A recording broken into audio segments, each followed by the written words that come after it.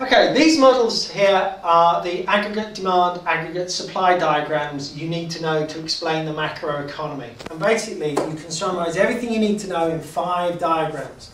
The first diagram shows the basic aggregate supply, aggregate demand model. Aggregate demand is downward sloping, aggregate supply is fairly horizontal to begin with, then becomes steeper, and it then becomes totally vertical. The totally vertical bit represents the maximum the economy can produce with its current resources. On a macroeconomic level, it's the same as a production possibility curve in a microeconomic level. Key thing to know about drawing this diagram is that you must put price level on the vertical axis and you must put real GDP on the horizontal axis. Price level represents inflation, real GDP represents output or economic growth. Once you've mastered drawing the basic diagram, you then have to be able to show changes in it. You have to be able to show aggregate demand increasing or decreasing. In these next two diagrams, I'm showing aggregate demand increasing. If it was decreasing, you just do the opposite.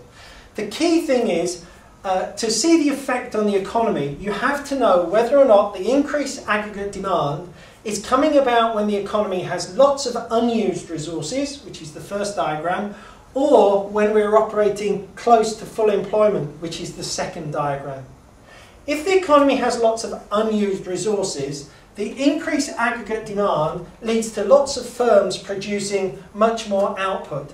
Therefore, you get a large increase in output and you get a small increase in inflation. So a large increase in output, small increase in inflation. However, if the economy is operating close to or approaching full employment, the opposite will happen. The increased aggregate demand causes more demand in the economy, but firms find that they can't increase their output, or they have to buy raw materials from further away, which pushes up their costs, or they have to poach labour from other employers, which pushes up costs.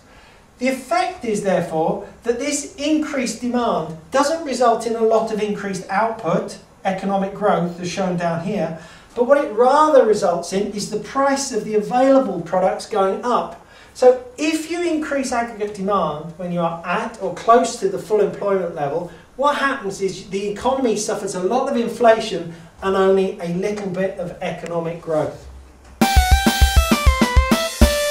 These last two diagrams show what, show what happens to aggregate supply. This first diagram shows what happens if firms face increased costs of production. The important thing to see here is that the maximum output the economy can produce, as shown by the vertical aggregate supply component, does not change. But if, for example, the world's price of oil goes up, firms will need a higher price to produce any level of output. And so the effect is to shift the aggregate supply vertically upwards. In this case, if firms face this increased cost, you could see that the price level would rise, you'd get inflation in the economy, and the economy would shrink. There'd be a decrease in output. Economic growth would slow. The last diagram shows the effect of a successful supply side policy. If you have successful supply side policies, and remember they take a long time to uh, take full effect, it shifts the aggregate supply to the right the economy becomes more efficient, the economy becomes more competitive. What this results in, in the economy, is a decrease in the price level, decrease in inflation. In other words, we can produce more, so there's less pressure to push up prices, and also an increase in output. We gain some economic growth as well.